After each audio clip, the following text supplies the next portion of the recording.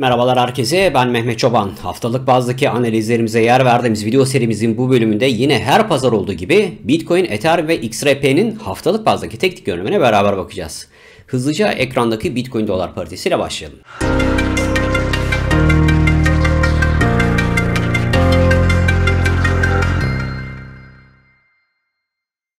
Bitcoin dolar paritesinin haftalık bazdaki grafiği açık. Teknik anlamda Aralık ayının 2018 Aralık ayının ortalarında başlayan yükseliş trendinin üzerinde kalma çabası içerisinde olan bir Bitcoin dolar paritesi izledik geçtiğimiz haftalarda. Özellikle şu tarihlerde Kasım ayının ilk haftasıyla beraber Ocak ayının ilk haftası yani yaklaşık 2 aylık bir süreçte bu bölgede kalmaya çalışan bir Bitcoin dolar paritesi izledik ve o dönemde yaptığımız yorumlarda da bu trend çizgisine önem veriyorduk. Fazlasıyla dikkat çekiyorduk ve parite bu trend çizgisinin üzerinde kalmaya başladı. İşte teknik anlamda aslında bu yükselişin açıklaması şu.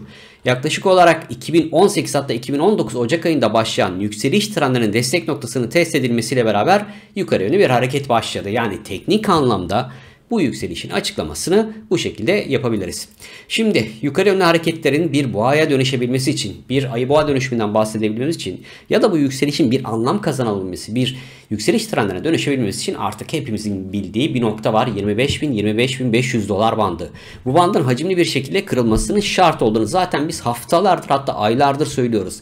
Ve bu bandın önemini aslında Bitcoin dolar paritesi son 2 hafta fazla fazla hissettirdi bize. Ya, yukarı denemelerde bu bantta yaklaşıldı. Bu bandın hatta içine girildi ancak çok fazla yukarı doğru hareketi cesaret edemedi Bitcoin dolar paritesi. Çünkü cesaret etse ve 25 bin 25 bin 500 dolar bandı kırılsa Bitcoin dolar paritesinde daha önce destek noktası olarak çalışan ve aldığı destekle beraber yaklaşık olarak 69 bin dolarlı seviyelerde zirve zirvesini yapan Bitcoin dolar paritesinde artık bir direnç noktası var. Burası da 29 bin 29 bin 200 dolar bandı. Yani eğer bu bölge kırılırsa 25 bin 25 bin 500 dolar bandı paritenin önünde 29 bin 29 bin 30 bin dolar bandına kadar çok çok önemli bir direnç noktası yok. Yani yaklaşık olarak bir 4 bin dolarlık daha bir marjın açılabileceğini söyleyebiliriz Bitcoin dolar paritesinde. Ancak esas sorun bu bölgenin kırılması. Şimdi bu bölgenin bir önemi daha var. Biz analizlerimizi hatırlarsanız dönem dönem ufak anekdotlar da veriyoruz teknik analizle ilgili.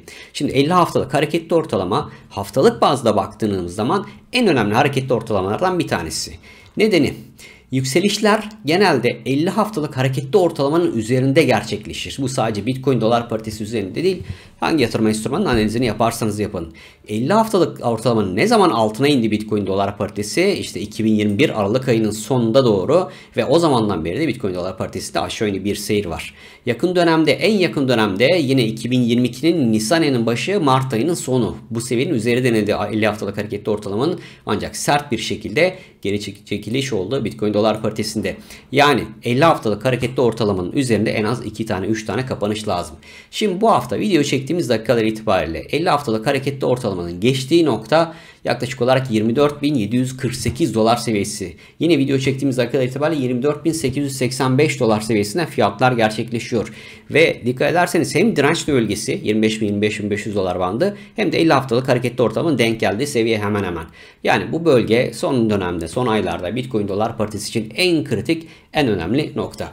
Peki geçilecek mi? Bakalım. Şimdi indikatörlere bakalım. İndikatörlerden WTLB indikatörü şu anda pozitif yönde devam ettiriyor. Bunun dışında Harsi indikatöründe yine pozitif yönde seyir devam ediyor ve işlem hacmine bakalım. Bizim için asıl önemli nokta bu.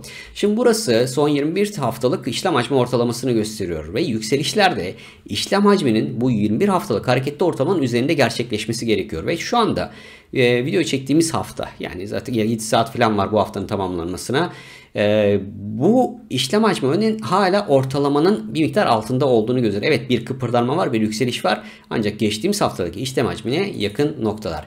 Yani şu anda paritedeki esas sorun bu bölgenin hacimli bir şekilde kırılıp kırılamayacağı. Üzerine geçilebilir. Biz hafta içerisinde 26 bin dolarlı seviyelerin test edildiğinde bir görebiliriz. Ancak şurada olan tehlikenin olmaması için, şu tehlikenin olmaması için Dikkat ederseniz burada da 50 haftalık hareketli ortalamanın üzerine çıktı. Bir tane kapanış da yaptı ancak iki, ikinci, ikinci kapanışı da yaptı aslında. Ancak hacimli bir şekilde olmadığı için yükselişler bak şurada hemen birebir gösterelim. Şurada hacimli bir yükseliş olmadığı için Bitcoin dolar paritesine geri dönüş oldu. Yani o zaman bizim şu anda takip etmemiz gereken nokta 25 bin 25 bin 500 dolar bandı üzerine kapanış oluyor mu ve hacimli kapanış oluyor mu? Eğer olmazsa buradaki tehlikenin gerçekleşme olası var Bitcoin dolar paritesinde. O yüzden şu anda hacim yeterli değil. Temkinli olmakta fayda var. Yani yeni pozisyon açmak isteyen yatırımcıların en azından şu anda pozisyon açmamış nakitte duran yatırımcıların şu anda Bitcoin dolar paritesinde 25 bin 25 bin 500 dolar bandının hacimli bir şekilde kırıldığının teyidini alması şart. Aksi takdirde şuradaki riskin oluşma olasılığı var Bitcoin dolar paritesinde. Diyelim ve Ethereum dolar paritesine geçelim. Şimdi Ethereum'da da benzer bir seyir var. Onda da aslında geçtiğimiz haftalarda yaşanan o sert düşüşle 2 Ocak 2023 haftasında başlayan yükseliş trendi, agresif yükseliş trendi haftalık bazda bir nevi kırıldı. Şimdi geri çekilmelerde bizim için önemli nokta 1540 dolar seviyesiydi. Bir önceki hafta 1540 dolar seviyesinin altında bir kapanış gerçekleşti. İşte orada biz dikkatli olmaya başladık.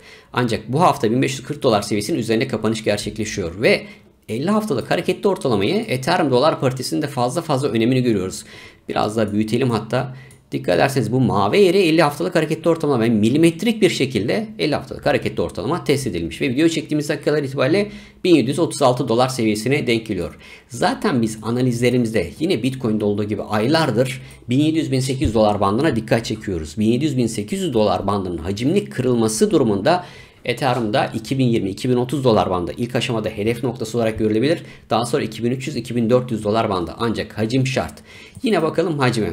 Hacminde de aynı Bitcoin'de olduğu gibi işlem hacmini çok fazla bunu desteklemediği en azından bu seviyeye kadar taşıdığı ancak 1700-1800 dolar bandının kırılmasına yönelik işlem hacminin yeterli olmadığını görüyoruz şu anki görünüm itibariyle. Bunun dışında benzer bir hareketi yani 50 haftalık hareketli ortalama seviyesinin üzerine 21 Mart 2022, 28 Mart 2022 ve 4 Nisan 2022 haftalarında çıkmış Ethereum dolar paritesine. Ancak aynı hacme bakalım. 28 Mart da başlayan hacim dikkat ederseniz şu bölgede 28 Mart ve sonra devam eden 3 haftada işlem hacmi 21 haftalık işlem hacmi ortalamasının altında. Bu sebeple şu anda temkinli olunması gerekiyor hala Ethereum dolar paritesinde. Aynı uyarımızı burada da yapalım.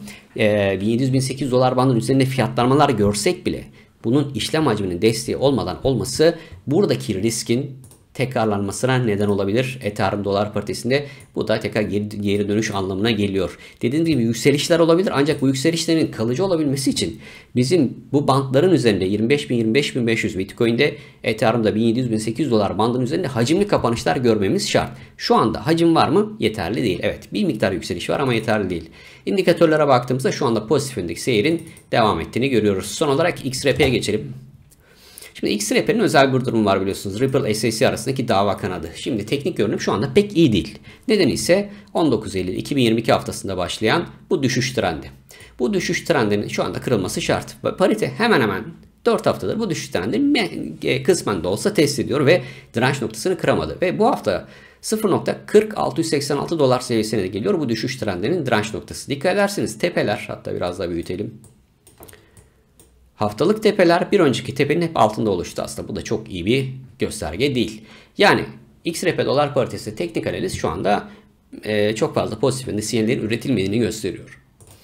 Bunun için 0.40686 dolar seviyesine gelen bu trendin direnç noktasının hacimli bir şekilde kırılmalı. Kırıldığı takdirde ise 0.45 dolar seviyelerine denk gelen 50 haftalık hareketli ortalama seviyesine doğru bir hareketlenme olabilir.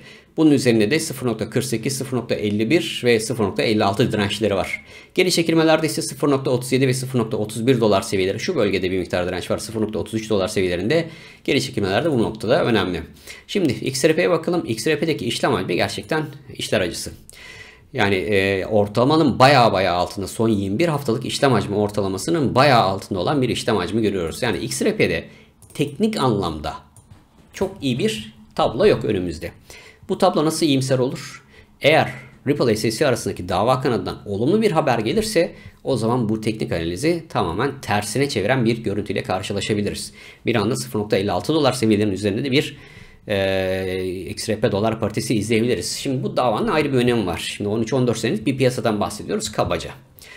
13-14 senelik bir piyasa üzerinde açılmış şu anda en önemli dava. O yüzden sadece Ripple yatırımcısının değil yani XRP yatırımcısının değil Ripple tarafında e, kripto para piyasasının tamamının bu davayı takip etmesinde fayda var. Çünkü bu davadan gelecek olumlu bir haber aslında kripto para piyasasının geneline özellikle altcoin'ler tarafında geneline yayılan olumlu bir havanın da tekrar oluşmasını sağlayabilir. Bu sebeple bu tarafa dikkat.